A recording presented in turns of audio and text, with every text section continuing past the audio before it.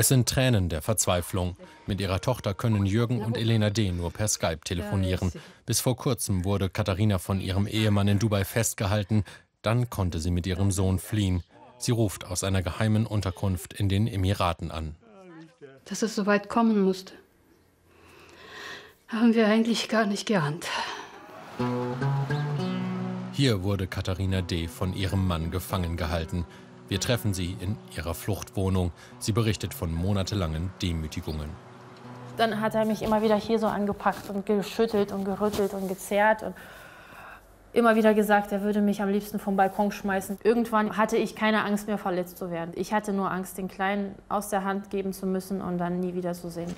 Rückblick. Ihr Ehemann Mohammed ist ein erfolgreicher Anwalt in Dubai. Dort leitet sie 2012 eine Bar im Hotel Radisson. Er hat schon gesagt beim ersten Mal, als er mich getroffen hat, ich bin eine Prinzessin, die auf Händen getragen werden sollte.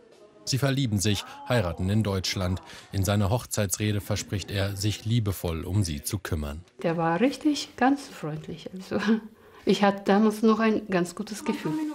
Im April 2014 wird der gemeinsame Sohn Rayan in Deutschland geboren das perfekte Familienglück. Sie fliegen gemeinsam zurück nach Dubai, dann der Wendepunkt. Katharina soll von nun an nach seinen Regeln leben. Mohammed nimmt ihr Pass und Bankkarte weg, verbietet Kontakte zu Freunden und Familie. Immer wieder sagt er, du bist jetzt verheiratet und du musst nun mal mit den Konsequenzen leben. Der hat mir immer wieder gesagt, ich bin weniger wert als der Dreck unter seinen Schuhen.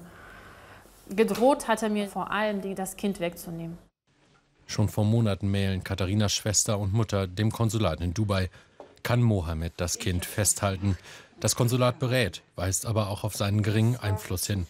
Eine sichere Ausreise mit ihrem Kind ist nicht möglich. Monate danach stößt Katharina im Internet auf die Initiative Hilfe für Deutsche im Ausland. Leiter der Initiative, der Hamburger Unternehmer John Schneider-Merck. Er handelt schnell. Zwei Tage nach Katharinas Hilferuf machen er und der Pfarrer der evangelischen Gemeinde sich auf den Weg, um ihr bei der Flucht aus der Wohnung zu helfen. Katharina schafft es, unbeobachtet das Haus zu verlassen. Die beiden Ehrenamtlichen fahren sie zu einem sicheren Ort. Sie war doch gar nicht mehr in der Lage alleine. Sie hatte kein Geld, kein Pass, keine Ausweise, überhaupt nicht mit dem Kind auf der Straße stehen. An wen soll sie sich wenden? Katharina zeigt ihren Mann an, reicht die Scheidung ein. Später wird er vor Gericht alle Vorwürfe abstreiten, aber er verbietet weiterhin die Ausreise des Kindes. Aus Angst geht Katharina nur sehr selten raus.